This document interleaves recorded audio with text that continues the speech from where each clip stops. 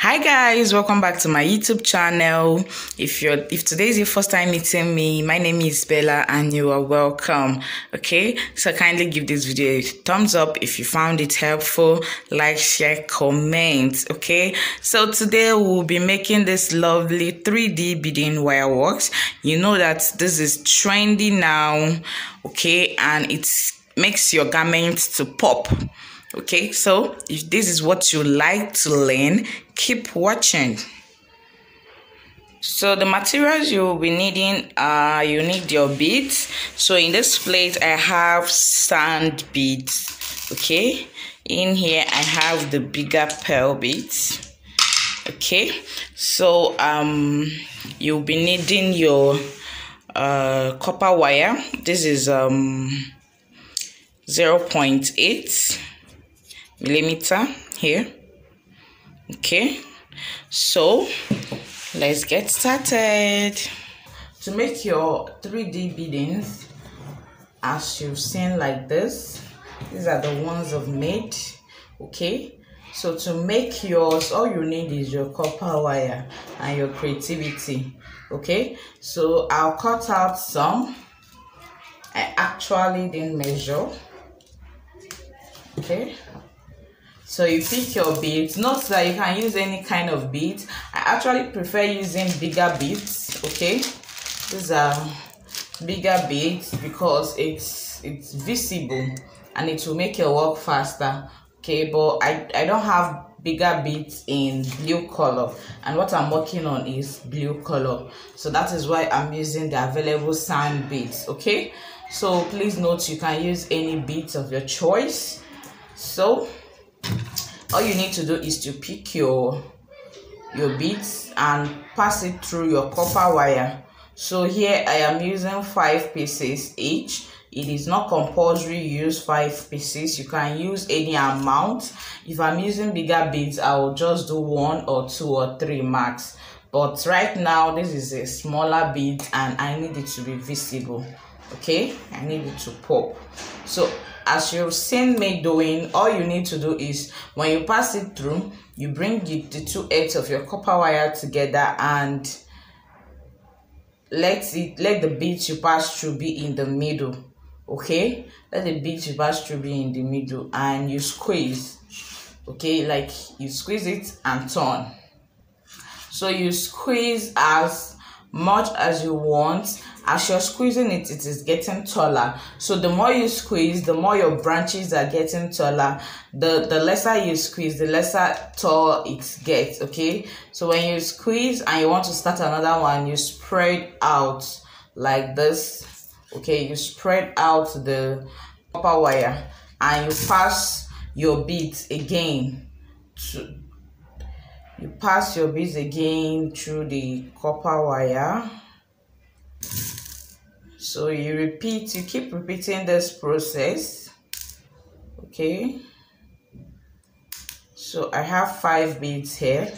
So now you're not making them to be equal again this time around. No. You just use your eye gauge to eyeball it and you can leave about one inch or two inches depends on how long you want the branches to be. You just leave some here okay? Some of the copper wire you just leave them here and bend the remaining one okay? That one you leave is your space for um, turning and squeezing okay? You can see it will form another branch okay? So this is for the this first hand so for the second hand remember the first time you you have two hands? So for the second hand you also repeat the same okay? First of all you pass through you pass your beads in into the copper wire. Two three four. So after passing your your beads in leave some space here for turning okay? Leave some space here. If you're a perfectionist and you want all of them to to be the same length you can actually measure okay? But doesn't really matter.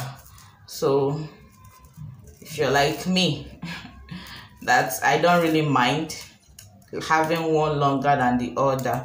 So please note that when you're squeezing depends on the the thickness of your copper wire don't squeeze too hard because my copper wire is not strong at all.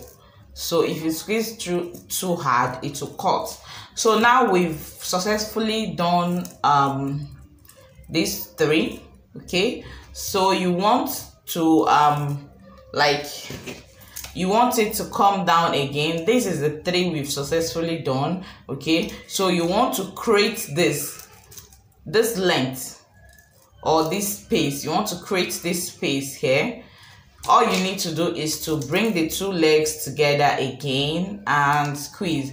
So anywhere you're squeezing you're automatic automatically creating um a gap okay or another branch or another body to form another branch. But you shall understand what i'm talking about okay? Anyway you're squeezing. You're trying to separate the ones you have you you have made. So this is it. You have successfully separated this. So you can start another branch all over again. So you continue this process till you're done. So please note you can mix you can mix colors okay? You can mix colors you can mix uh claw stones you can you can mix whatever you want to mix. It depends on your creativity. That is why i said initially that some of the things you need i mentioned your creativity okay? So that's it. That's how to create it. You continue and until you're done okay? Until your desired length is achieved. Or the numbers you want is achieved okay? So it's all about passing the beats twisting and twisting and twisting okay? So that's basically it. You twist and twist until you're satisfied. You can see that this is quite long that's because the gap i left before twisting is long okay? So this is it. This is another branch i just created. So you pass another bead through this one.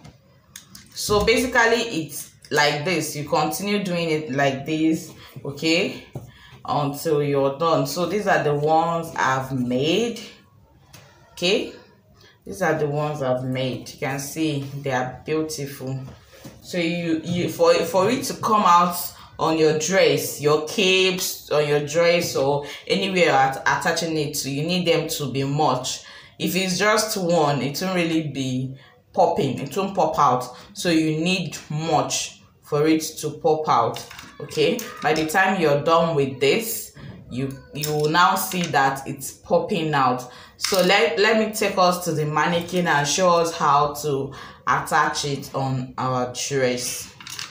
So for you to successfully put it on your cape or whatever your dress or anything, okay, I used glue gun. So you get your glue gun, attach it, and whenever wherever you see this um 3D beading, you always see it with all these um uh 3d petals you know some this kind of designs on it.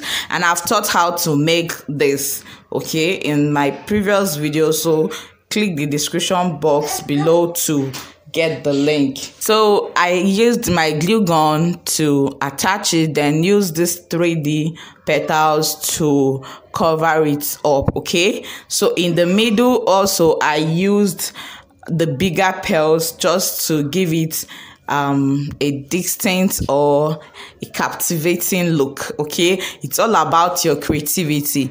So the, it, that is how to you can add all this that you've made this is how to add it. And sometimes you can use it on a dress without all this. So you you just bead when you attach it with your gum you bead on that particular place to cover it up just as the, on the dress you're seeing on your screen right now. You you attach it with gum and bead on it around that edge to remove um uh people's eyes from seeing the gum I don't know if you understand what I'm saying. So that's basically just it. Okay. So thank you guys so much for staying with me. Thank you guys. If you found this helpful, please like, share, comment. Okay. And I'll see us in my next video. Till then, bye.